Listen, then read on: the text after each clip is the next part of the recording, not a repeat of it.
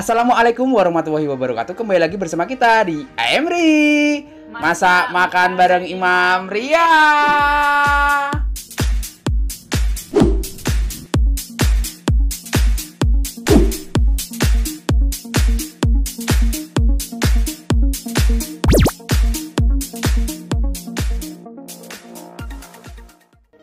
Hari ini kita berdua mau ngasih ide jualan, ide bisnis uh, bisa juga buat cemilan di rumah atau makanan ya makanan santai lah gitu. Oke guys kita kali ini mau bikin yupa soup ya kan mak? Zupa, sup. Ah, itu dia bini gue yang benerin. Itu makanan yang sering kita jumpai itu di kita acara-acara wedding ya. Acara-acara wedding acara nikahannya di gunung-gunung itu pasti ada itu zupa soup.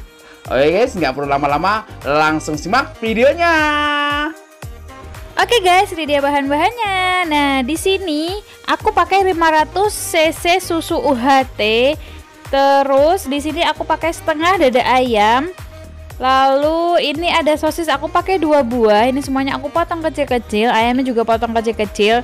Nah ini kulit pastrinya aku beli udah jadi. Nanti linknya aku cantumin di deskripsi. Nah kemudian di sini aku pakai wortel satu buah. Aku potong kecil-kecil. Nah untuk eh, apa namanya kacang polong dan juga jagungnya di sini aku pakai kalengan. Kalian boleh kalau pakai jagung yang biasa terus dipipil, direbus dulu boleh. Nah kemudian eh, untuk bumbunya ada gula, garam dan juga lada bubuk. Kemudian di sini aku pakai larutan maizena nanti supaya si kuah zupa supnya itu kental. Kemudian ada setengah siung bawang bombay dan juga 5 siung bawang putih yang udah dicincang-cincang. Oke lanjut, pertama kita bakal panasin si blue band-nya. Maaf tadi blue band-nya nggak ke video ya. Nah kemudian kita tumis bawang putih dan juga bawang bombaynya Sampai benar-benar wangi harum ya guys. Oke ini udah wangi, udah harum, eh, udah berubah juga warnanya di sedikit kecoklatan gitu. Lanjut kita bakal langsung masukin aja eh, ayamnya lalu kita tumis ayamnya sampai ayamnya itu berubah warna. Tandanya kalau ayam udah berubah warna itu udah sedikit matang ya guys. Jadi warnanya udah putih-putih kayak gini tuh. Nah setelah ini lanjut kita langsung masukin aja susu UHT nya di sini aku pakai 500 cc ya guys. Nah setelah itu kita masukin wortel, sosis, lalu kita aduk-aduk sebentar. Setelah itu kita masukin jagung dan juga kacang polongnya. Jangan lupa juga masukin gula, garam, kaldu dan juga lada bubuknya. Nah, setelah itu diaduk-aduk, setelah tercampur rata, kita masukkan larutan maizena. Setelah larutan maizena dimasukkan, kita akan menunggu si kuah zupa supnya ini mengental guys. Tuh, seperti ini ya.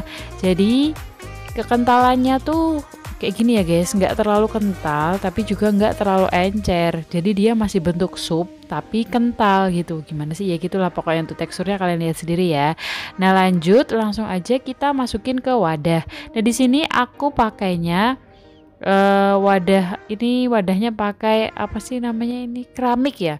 Ini pakai keramik. Kalian boleh juga pakai aluminium foil kalau nggak punya eh, wadah tahan panas di oven. Ada juga kaca yang tahan panas di oven ya guys. Jadi wadahnya yang penting tuh dia bisa tahan sama panasnya oven.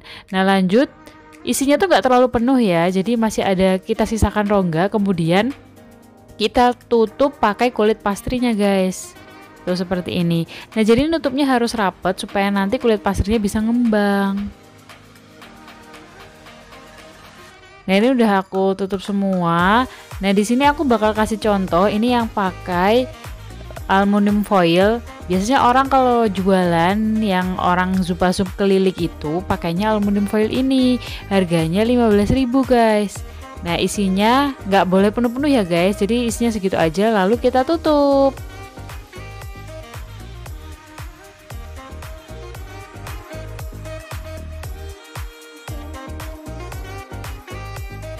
Nah, ini udah selesai ditutup semua biar makin cantik. Atasnya aku olesin pakai kuning telur.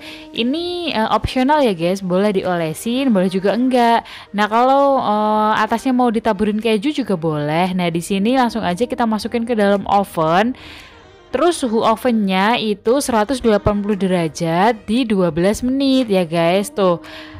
udah mateng ini udah 12 menit hasilnya kayak gini guys tuh warnanya cantik banget eh, kecoklatan gitu bukan kecoklatan sih. Gimana sih? Itu warna kuning telurnya tadi. Karena kita kasih kuning telur jadi dia warnanya atasnya tuh lebih gelap. Tuh. Hmm, ini tuh wangi banget loh guys. Sumpah.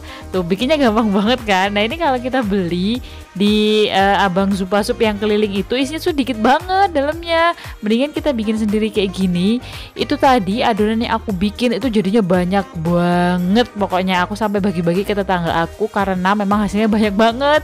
Nah ini dalamnya juga isiannya tuh ayamnya, terus eh, kacang polong dan sayurannya. Pokoknya ini isiannya bisa banyak. Ya udahlah nggak usah lama-lama langsung aja kita buktikan ke suami aku. Ini dia zupa supnya udah jadi.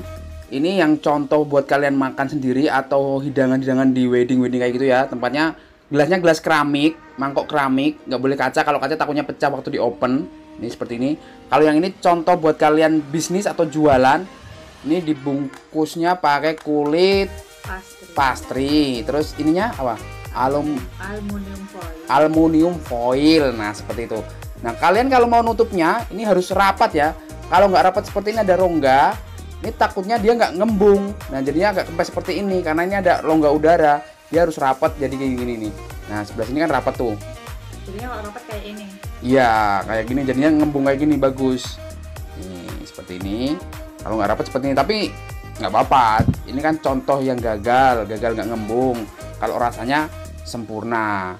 Oke guys, nggak perlu lama-lama, langsung aja kita buktikan. Nah, sebelum kita cobain kita berdoa dulu. Bismillah. Amin. Nih, keras, suaranya kelihatan, kedengeran kok kelihatan. tuh, tuh, langsung kita tancap pakai sendok kayak gini, tuh. Hmm. Gue liatin nih dalamnya nih sama kalian nih. Tuh ada jagungnya, ada sosisnya. Kelihatan? Ini ayamnya juga kacang polong terus wortel. Isiannya terserah kalian, boleh kalian variasi sendiri. Nih guys. Bismillahirrahmanirrahim gue cobain dulu. Uh lengkap nih. Oh. Gurih. Enak banget, seger. Hmm, masih hangat. Hmm. Kalau makannya tuh dia biasa dikasih eh, apa saus ya.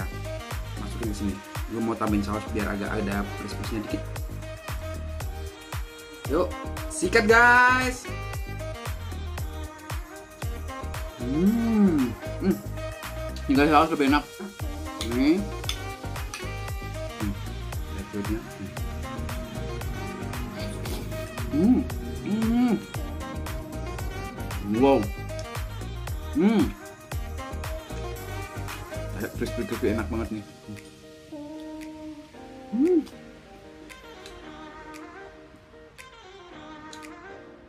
Enak banget. Cocok buat cemilan teman santai di rumah atau juga ide bisnis, ide jualan. Oke guys, wajib recook resepnya di rumah. Sampai ketemu di video kita berikutnya. Assalamualaikum warahmatullahi wabarakatuh.